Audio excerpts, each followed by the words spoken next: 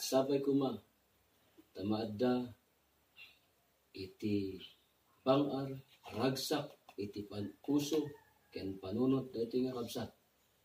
Ket iti sumaruno, ket kaduamin to, nga mga daydayaw iti napateg, anagan, ni Apo mi Yesu Kristo.